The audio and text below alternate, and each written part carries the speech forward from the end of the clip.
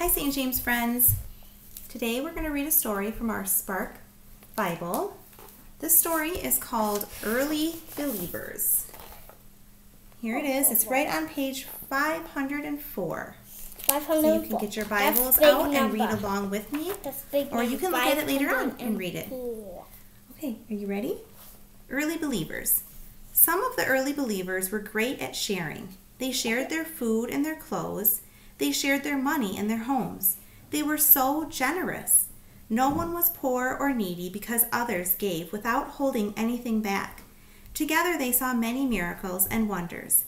They met in the temple and they met in their homes. They talked about Jesus and they thanked God for blessing them. Then something amazing happened. When other people saw how happy these first believers were, sharing all they had and talking about Jesus, they believed too. They became Christians and they shared their food and their clothes, their money, and their homes. They became one big Christian family, and their church family grew and grew and grew. Here's the picture again. You can look on there and see if you can find squiggles in the picture. I see Oh, him. I found Find- him. Did you find him? He's right down there in the mm-hmm. bottom. Yep. Yep. There's a question here. It says, try sharing your happiness with others. Think of something happy or exciting to tell three friends or family members. Yep. So that's your challenge for this lesson. Robert, do you have anything exciting you could share? Yeah. What is it? Um. hmm.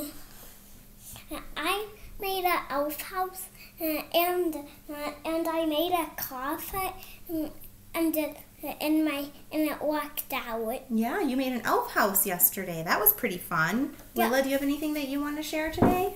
No. No, not today? Okay, that's all right. Sometimes you just have to think about it for a little while.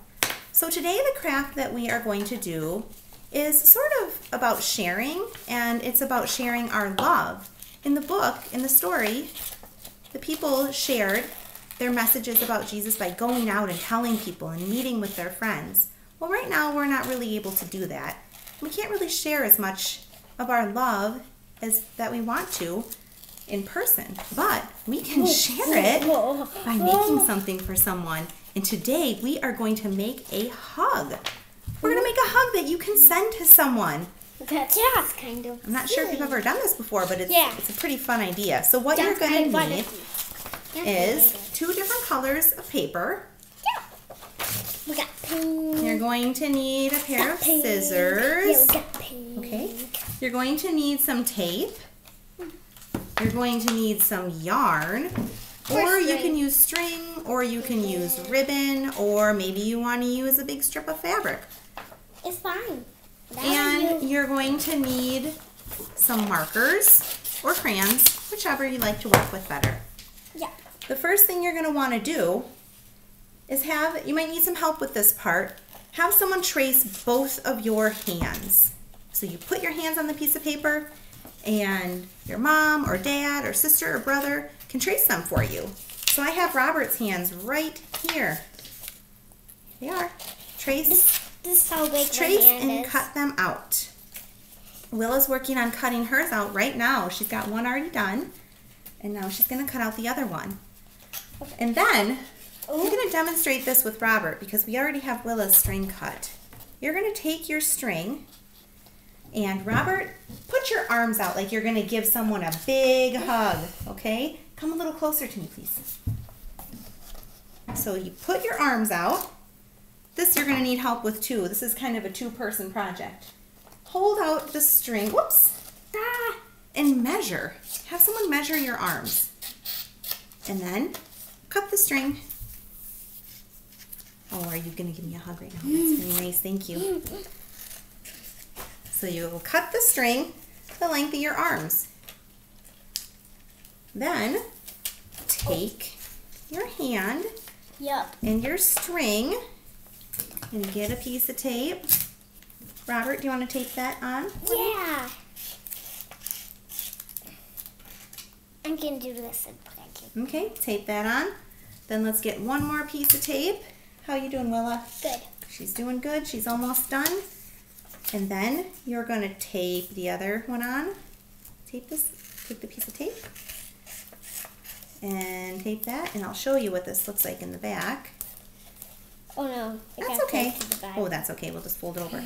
See, you got your hands taped together. Oops, that's the tape side. See the tape side on there? Now we have this big space in the middle. I think we should put something in the middle. Yeah. I found this. Thought of this nice little saying here. It says, even when we are apart, you are always in my heart. So, Can you hand the tape to me? Yep. There you go. So what you're going to do with that is find the middle point. Doesn't have to be exact. But just Make sure you're flipped on the side where the tape is on the back. Put your heart in the middle and then we're going to get one more piece of tape and Robert is going to tape or glue. that on. Yep, you could use glue too, but tape just works a little faster and you don't have to worry about letting it dry. And then, okay, Robert, you hold on to this hand for me and we're gonna hold it up. Now Hold come it. over here, come closer. Look it. When you send this to someone, they'll see that you could have a hug. Look it, I could wrap this around me. I'm gonna wear it. I'm gonna pretend like Robert's hugging me right now. Oh, that feels so good to get a hug from someone. So you could send this to a grandma or grandpa, or maybe you want to send it to one of your friends who you would like to give a big hug to when you can't see, or an aunt or uncle, a cousin. Look at Willa got hers all done too. Oh, she used go green. Oh, for no, her hands this. Upside Hands are down. and blue Whoa, for her string. Whoa, whoa, whoa, whoa, whoa, no. And Robert did the exact And then you'll just put it in an envelope, and maybe you want to write a little note in there and say that you were sending them a hug in the mail since you can't hug them in person. And you're sharing, you're sharing God's love with them, and you're sharing your love with them. Was that a fun project, guys? You like that one? Yeah. Yeah, that was pretty quick and easy. Now we have a prayer that we're going to say. You guys want to bow your heads and pray with me? Dear Jesus, please help us to share your love and your care. Remind us to share with people everywhere. Help us find ways to share every day. Amen. So I hope that you enjoyed this craft. I hope that you can find a way to share your love with someone, even if you can't be You with could hang them. it up. Yep. Yep, and you could even keep this at home and hang it up and as a decoration to help you to remember to share your love. But I think it would be great if you could make a few of these. Since they're so easy to make, yeah. you Yeah. could make a whole bunch of these. You can make five Send them out to all of your different relatives that you want to give them a big, big hug. You can make 5,000. yeah, you could. All right, so have fun making this craft, and we will see you next week. Yeah! Bye! Bye!